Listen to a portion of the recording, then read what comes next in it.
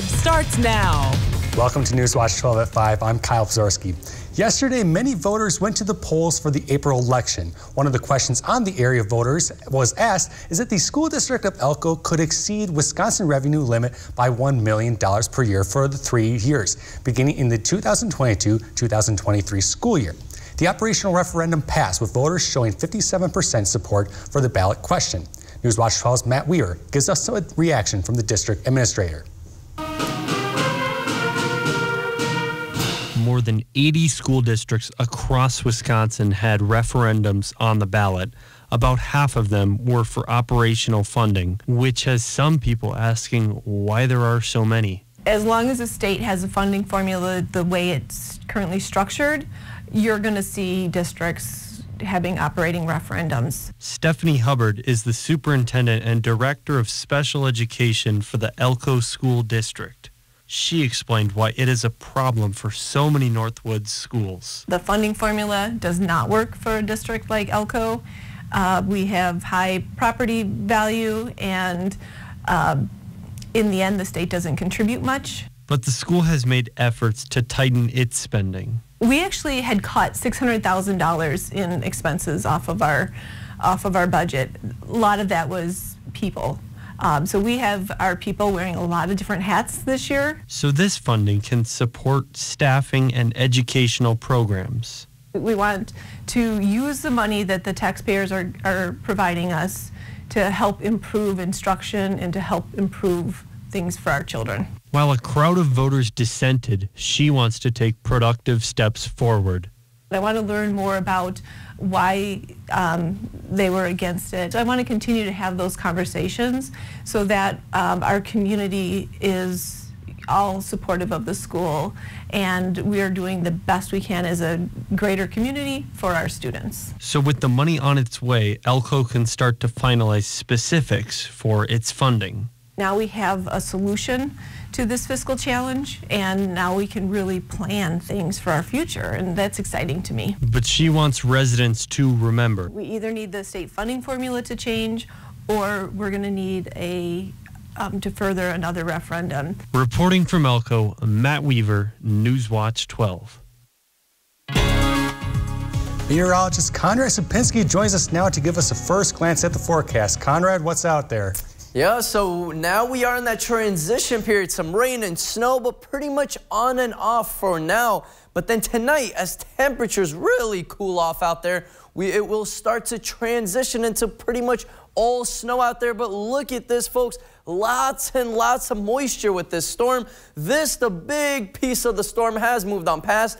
But look at this spinning column right over here. Yes, all that precipitation will still be lingering in the area tonight into tomorrow and pretty much mostly as some snow as the Futurecast does show that transition becoming all snow overnight and then mixing back with some rain tomorrow as temperatures rise from the mid to even upper 30s. But then, hey, some more snow on the back end with cooler temperatures. So not a big snowmaker, but couple inches definitely out here in Rhinelander as temperatures are pretty cool out there. Now they've dropped to the mid 30s out here in Rhinelander, Eagle River as well. A little bit warmer in Iron Mountain and Green Bay out there, but in general, we are starting to cool down and we will continue to cool down close to the freezing mark overnight.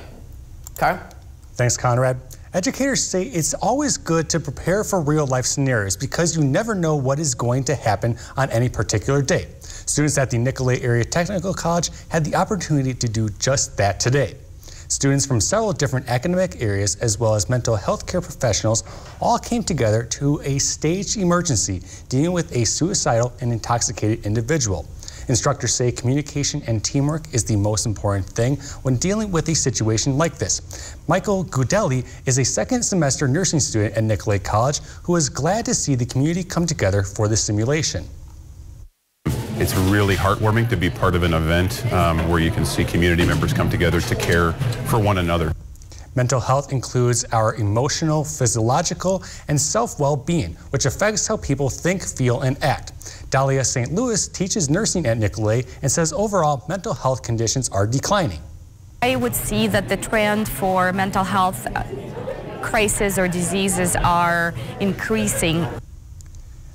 If you are dealing with mental health issues, the Mental Health Crisis Line offers 24 7 services. You can reach them at 888 299 1188. Staying on campus, the newly remodeled manufacturing labs and classrooms at Nicolet College will be, will be on full display during a public open house.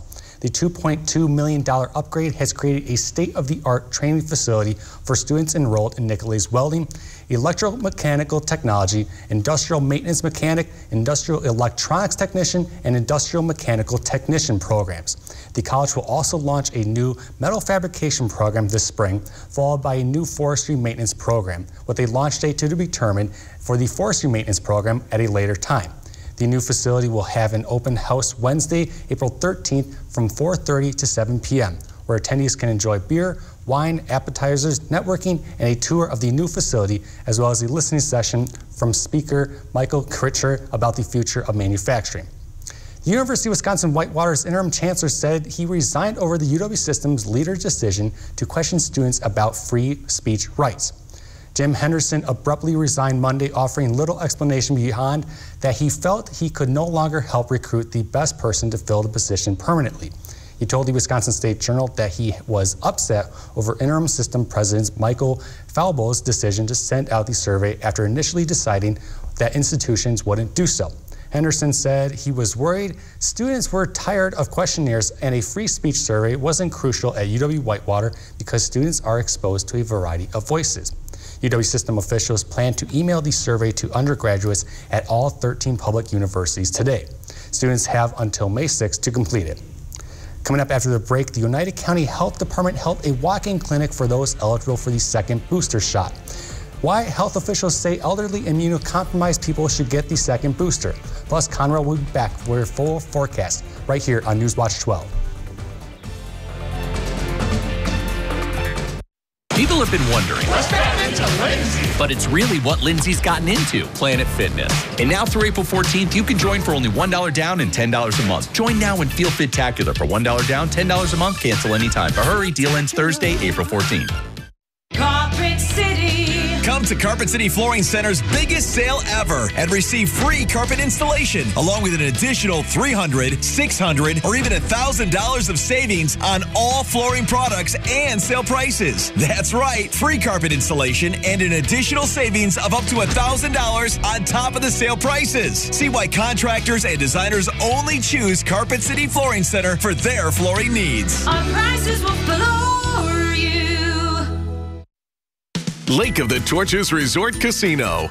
You can count on us for all the hottest slots inside, sun dappled water outside.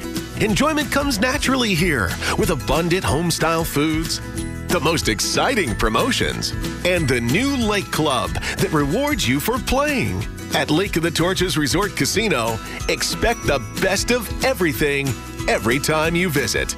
Winning's more fun at the lake. Dylan, how's that sofa you can't return from that big internet site? Honestly, not that great. Well, Slumberland can help. It's our biggest finance sales event of the year. Just $20 a month will get you a gorgeous sectional, a three piece bedroom group, when you spend $1,200 and pay no interest for five years. No way. How about kicking back in this luxury leather power recliner for just $25 a month? And come to Slumberland Sleep Solutions, where we've reinvented mattress shopping. People have been wondering. What's happening to Lindsay? But it's really what Lindsay's gotten into, Planet Fitness. And now through April 14th, you can join for only $1 down and $10 a month. Join now and feel fit-tacular for $1 down, $10 a month, cancel anytime. But hurry, deal ends Thursday, April 14th.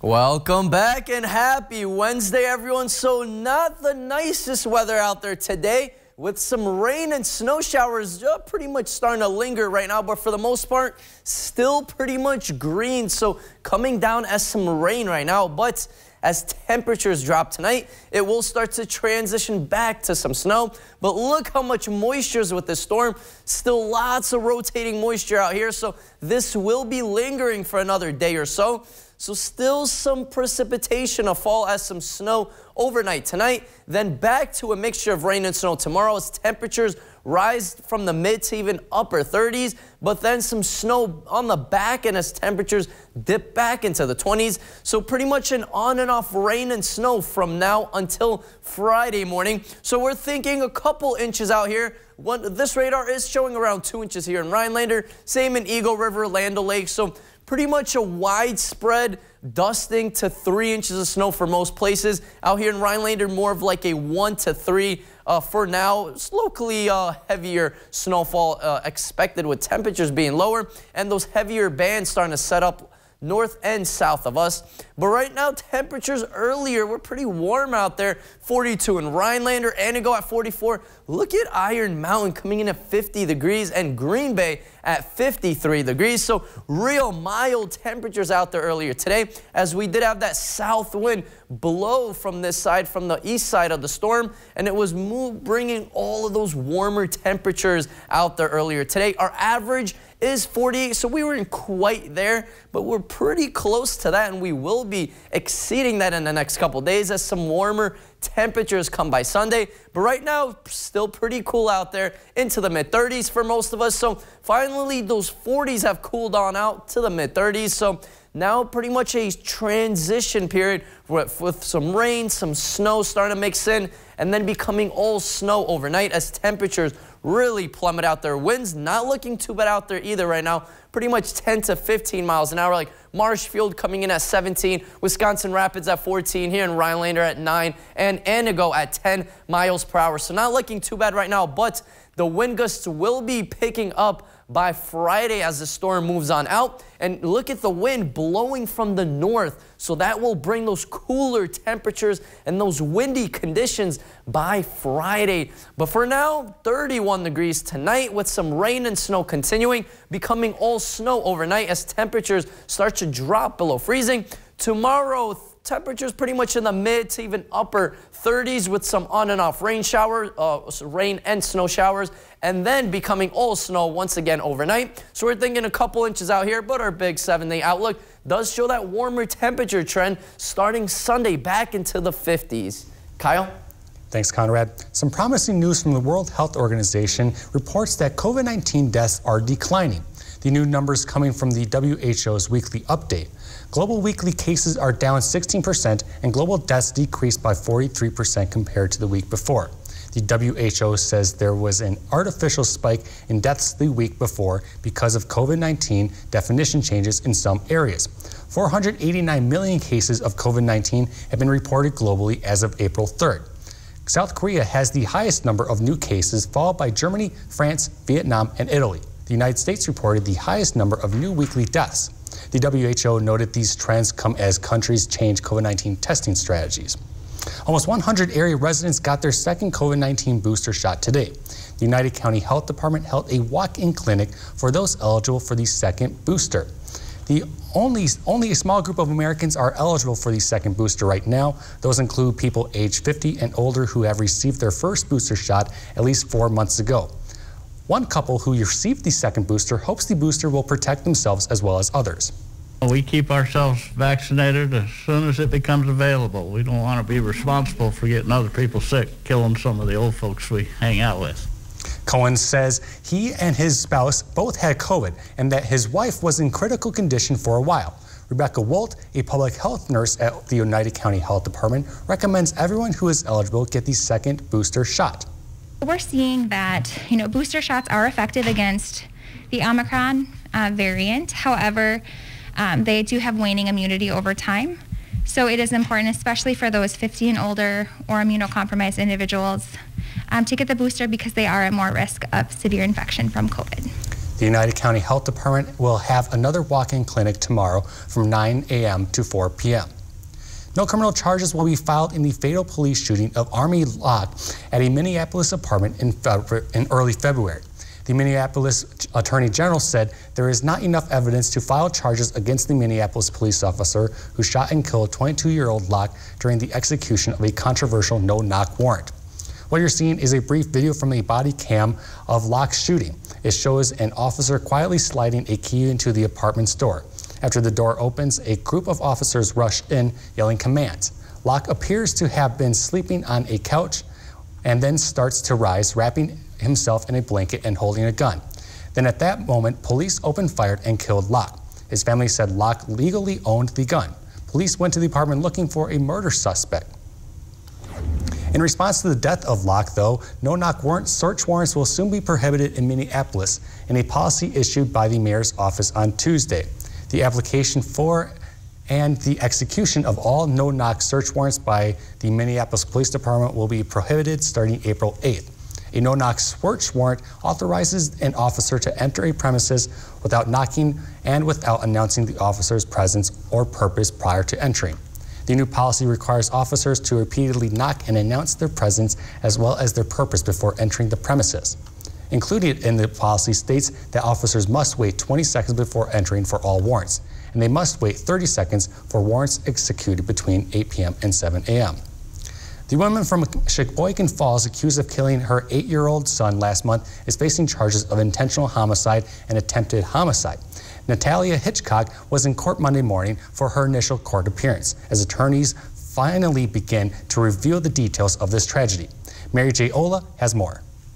State of Wisconsin versus Natalia Hitchcock. Natalia Hitchcock walked into the Sheboygan County Court Tuesday charged with killing her eight year old son and attempting to kill her 11 year old son. At times, it was emotional as Hitchcock turned back. Like to raise the issue of competency. I have reason. And spoke directly to her husband of 15 years. His brother tried to comfort him. Investigators say Hitchcock strangled and killed her son Oliver and tried to drown her other son. We're talking about crimes of absolute violence. She's also committed these crimes as alleged against her two children. According to a criminal complaint, Hitchcock's husband told police his mother in law lives in Russia and that he worried about Hitchcock's mental state as she watched coverage of the war between Russia and Ukraine.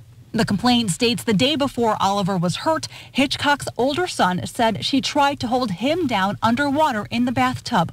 Law enforcement noted that Hitchcock told them she had not been sleeping well for several days and began to have thoughts the Russian government was going to take her children and abuse them, and that her husband was trying to sell her and the boys to the dark web. There's an issue of competency in this case. Prior to this incident, the defendant had no prior record at all criminal justice. Hitchcock said a few words to her husband as she was escorted out. Can I have the complaint on that? Coming up, we'll have a look at the current gas price situation hitting the nation. Stick with us. We'll be right back.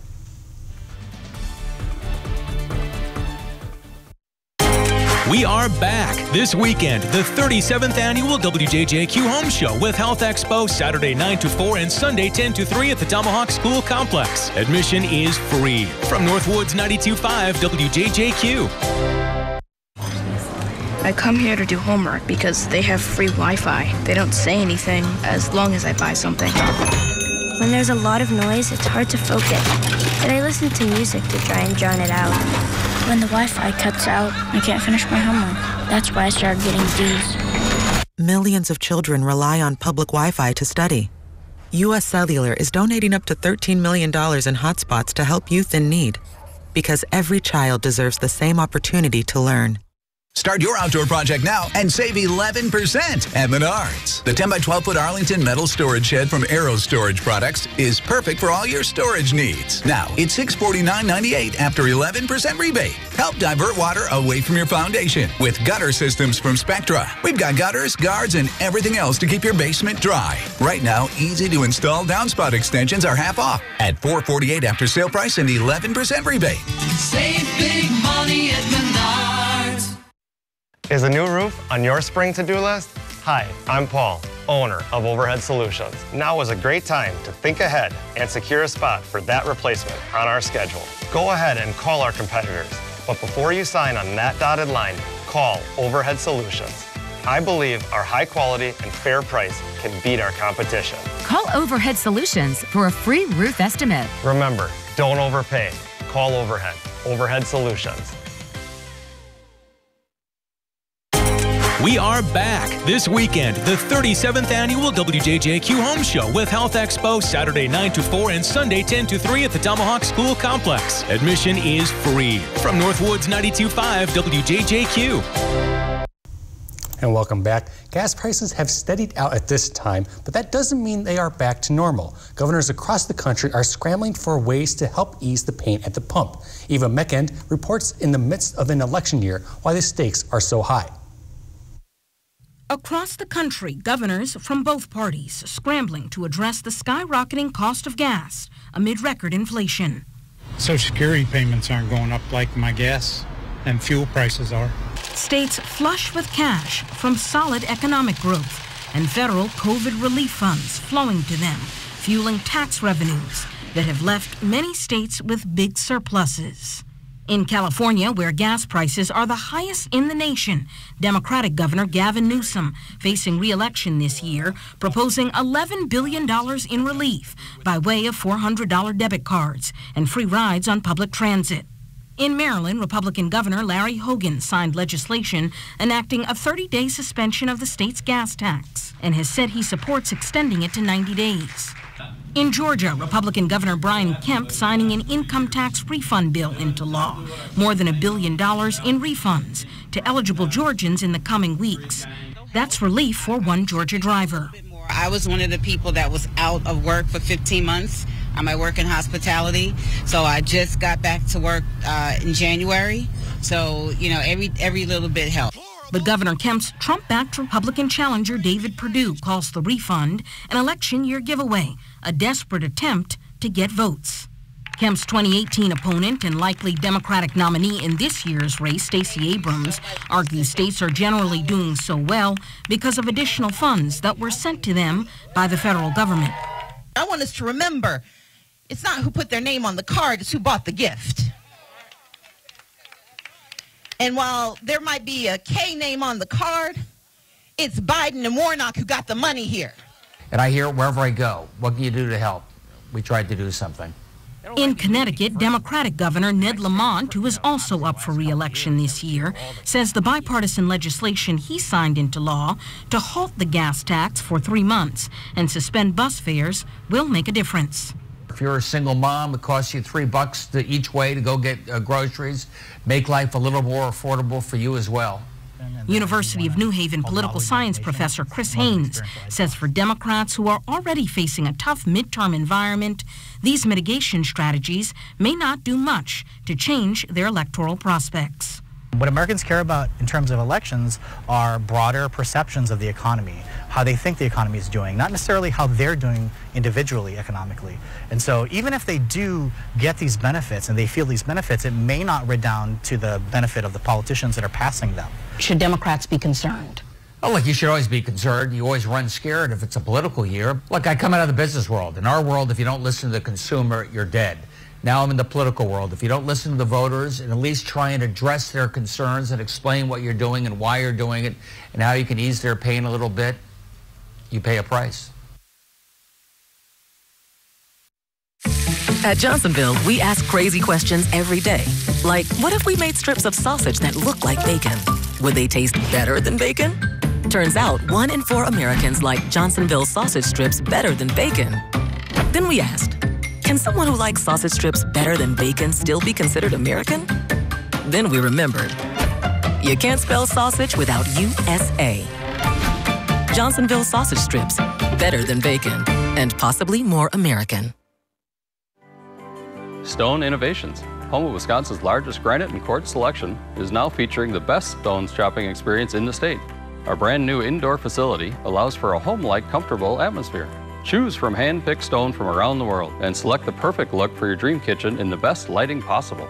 Then sit down with our free design services to customize the look of your kitchen. Our projects come with a lifetime warranty. Stone Innovations, Wisconsin's granite and quartz leader. Appleton, Rhinelander, Plover, Madison.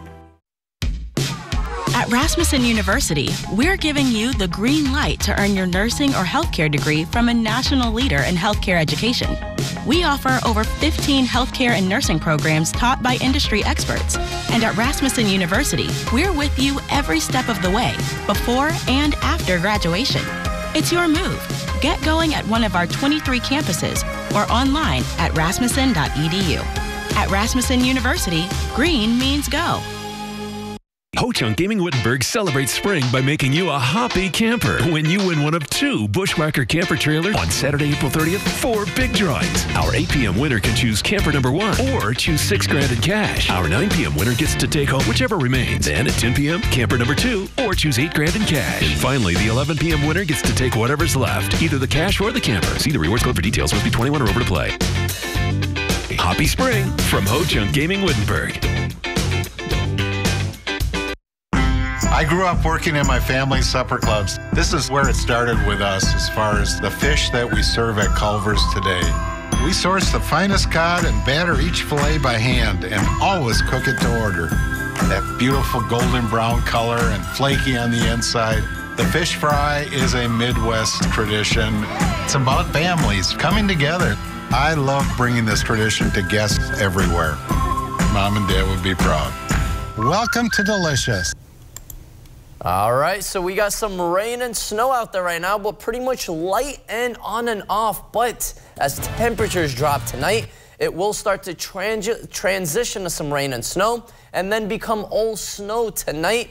And then tomorrow back to a rain and snow mix and then back to snow on the back end. So a lot of mixing going on, but we're thinking around a couple inches out here, maybe a one to three incher, locally heavier amounts. But look at those 50s back in the forecast starting Sunday. So finally some nicer weather is back in the forecast. Yeah, for sure, for sure. Well, thanks, Conrad. NBC Nightly News is next. Meet us back here at 6.